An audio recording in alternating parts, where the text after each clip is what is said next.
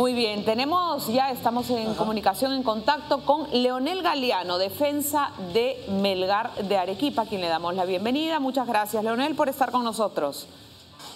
Hola, ¿qué tal? Buenas tardes. ¿Cómo andan? Muy, muy bien, eh, Leonel. Eh, bueno, arrancamos esta conversación entonces. Eh, seis partidos sin conocer derrotas, ¿no es cierto? Punteros en el acumulado y además el equipo que menos goles ha recibido en lo que va del año. Gran momento para Melgar, Leonel, que habla obviamente muy bien de, de la línea defensiva, pero además de todo el conjunto, ¿no? De todo el equipo.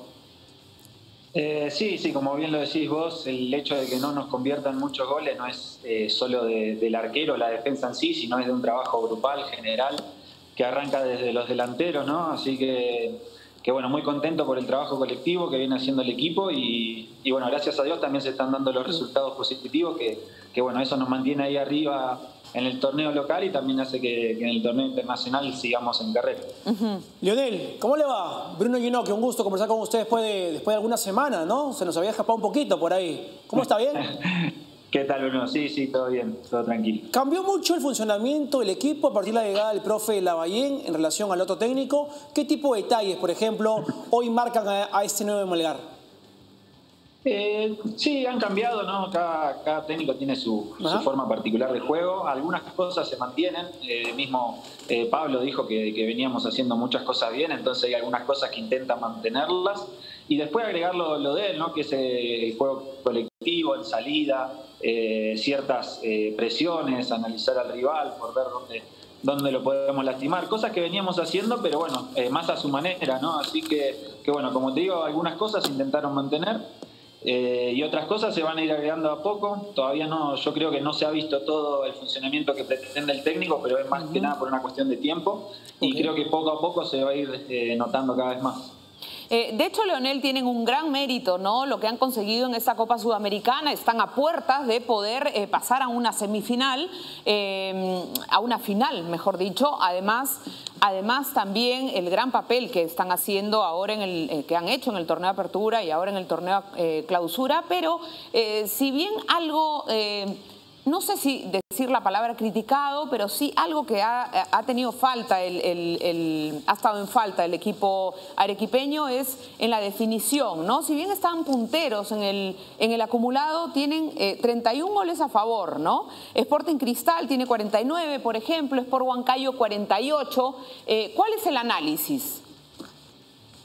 Sí, sí, bueno, mira, lo, importante que, tenemos es que, generamos, eh, que esas, esas ocasiones las tenemos. Eh, ya de por sí es muy importante generar situaciones. Eh, la verdad que cada partido, cada vez que terminamos, vemos que generamos mucho. Quizá no se convierte en la, cantidad que queremos, ¿no? Pero, pero bueno, lo importante es generar, llegar a esa zona con, con gente, generar situaciones importantes.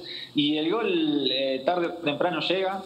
Eh, también eh, es una, virtud del equipo que sea un equipo eh, sólido, compacto, entonces sabemos que, bueno, que, cuando convertimos lo tenemos que, hacer valer, es muy importante, entonces trabajamos todo para, para defender los tres puntos, ¿no? Pero, pero como te digo, lo más importante es que se generan las situaciones, obviamente que no, nos gustaría en cuanto a, lo grupal anotar más goles por las, por las situaciones que se generan, pero, pero bueno, no es algo que nos no, nos deje intranquilos ni, nos incomode, sino que lo más importante es llegar a esa situación eh, peligrosa en el área rival para, para bueno, eh, tarde o temprano el, gol llega, ¿no? Sin desesperarse. claro, porque lo ideal sería ganar, golear y gustar siempre, ¿no, Leonel? Pero no siempre se puede. Lo más importante es sumar de a tres, más allá de que en algún momento del año no se va a hacer una buena presentación un fin de semana u otro de por medio. Por ahí pasa la idea. Sí, sí, ni hablar, ni hablar. Eh, obviamente que uno quisiera convertir todo lo que genera, ¿no? y, lo que le generan a uno que no sean gol, pero bueno, eh, esto es fútbol y sabemos de que, de que por más que no se, no se concrete una situación de gol, la próxima puede llegar y, así ir generando, ir generando, por eso es que cada partido cuando termina vemos que generamos mucho, quizá no, eh, la diferencia de gol a veces es mínima, pero bueno, eh, hay, que, hay que seguir trabajando para, tratar de concretar un poquito más, pero no es algo que, nos desespere. Pero bueno, en caso, eh, de pronto en el torneo local sí se puede generar mucho, ¿no? Pero generalmente ya en una Copa Sudamericana en estas instancias, además en semifinales, eh, las ocasiones pueden ser pocas, ¿no? Y hay que aprovecharlas al máximo, ¿no? Sí, sin hablar ya, eh, bueno, torneo internacional, eh, bueno, tanto ahora que se ida y vuelta, creo desde mi punto de vista, lo importante es ser sólido defensivamente, de que te generen pocas situaciones y te conviertan poco. Y después las situaciones que tenemos, como, bien lo decís, que, son pocas, no, no, no son tantas, eh, tratar de, convertirlas, ¿no? Pero, pero bueno, creo que lo principal es pensar en ser un equipo sólido, compacto y que, que le generen Leonel, sácame de una duda. Estamos exactamente a una semana del partido de ida en Ecuador frente a Independiente del Valle equipo que hoy en día en Ecuador es uno de los mejores elencos por la actualidad, por resultados, por momentos futbolísticos. ¿Ya han recibido algún tipo de información? ¿Ya han empezado a ver un poco de videos? ¿Empiezan a conocer un poquito más del equipo eh, ecuatoriano? Eh, se hablan algunas cosas, eh, pero muy poco, la verdad, por ahora. Estamos pensando en, el, en la próxima fecha del torneo local y siempre decimos de ir paso a paso, ¿no? Sabemos que más allá de que es un partido muy importante contra Independiente del Valle, tenemos otra, eh, otra disputa muy importante ahora el día viernes. Así que, mm, que, bueno, algo sí vamos viendo, pero, pero bueno, solamente para estar al tanto, ¿no? Eh, pero ya esa semana eh, previa a ese partido, va, esos días previos, ahí ya, ya nos vamos a enfocar de lleno y, y sí ver todos los detalles y ver eh, todo lo que, lo, que, bueno, lo que pueden generar ellos y dónde lo podemos lastimar nosotros. Justamente estabas hablando del partido que les toca este fin de semana por la fecha 9, es el cuadro santo, ¿no? Que si bien es cierto en papeles, ustedes creo yo que son los favoritos, eh, no sé si habrás eh, revisado el partido o, visto las jugadas del partido ante Sporting Cristal, que le planteó un buen partido a la Universidad de San Martín, pero que lo terminó perdiendo al final, ¿no? Al final del partido.